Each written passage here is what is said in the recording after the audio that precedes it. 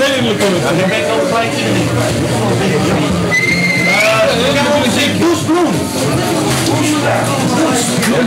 Applaus voor Boes Bloem.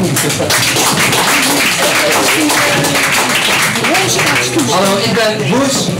Uh, ik, heb, uh, ik was deze maand uh, vijf jaar getrouwd. En toen ik getrouwd ben heb ik een, een, een dichtbundeltje gemaakt die eigenlijk alleen mijn vrouw en mijn schoonouders hebben gehoord.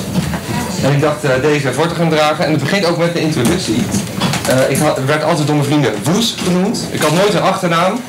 En dus precies vijf jaar geleden heb ik de achternaam van mijn vrouw aangenomen als achternaam van Woes. Dus daarom heet ik Woes Bloem. En het eerste dit heet Woes Bloem. Uh, en een bloem is dus uh, het paard of een plum en zo. En ik vroeg me altijd af, waar komt hij wel vandaan? Daar gaat het lekker. Hij had nooit een achternaam. Nu neemt hij er één weg. En wel zo'n mooie uit het Frans. Precies net wat u zegt. Wat was er paars? Nu had er pluim in tijden van weleer. Een dichter aan zijn pen en pluim en in zijn hoed en veer. Er is een reden waarom mensen heten hoe ze heten. Bij trouwen hoort een nieuwe naam. En welke zult u weten?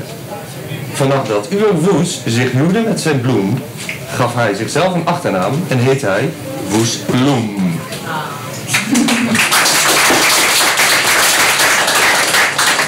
Dankjewel. Straks meer van Woes.